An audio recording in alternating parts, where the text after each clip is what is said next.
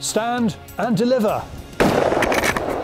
Aimpoint Academy winner Johannes steps into Franz Albrecht's shoes and lands a dream drive with David recording all the action. I don't know what to say, honestly. So much happening. It's crazy. We're gonna slice that What along. to do with all that fallow meat? Cai cooks up an answer with a beautifully presented festive venison parcel roll package thingy. But great Christmas crackers, it's tasty.